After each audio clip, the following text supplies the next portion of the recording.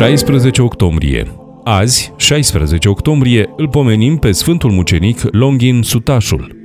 Un sutaș, anume Longin, de neam din Capadocia, fiind sub stăpânirea lui Pilat, a fost supus cu ostașii săi ca să slujească la Sfintele Patim și la răstignirea lui Hristos și văzând minunile cele ce s-au făcut de Hristos, adică cu tremurul și schimbarea soarelui într-un întuneric, mormânturile deschizându-se, a mărturisit că Hristos este Fiul lui Dumnezeu. Ciobanii dimineața caută să vadă cum s-au culcat oile. Dacă stau grămadă, iarna va fi grea. Dacă stau împrăștiate, va fi ușoară.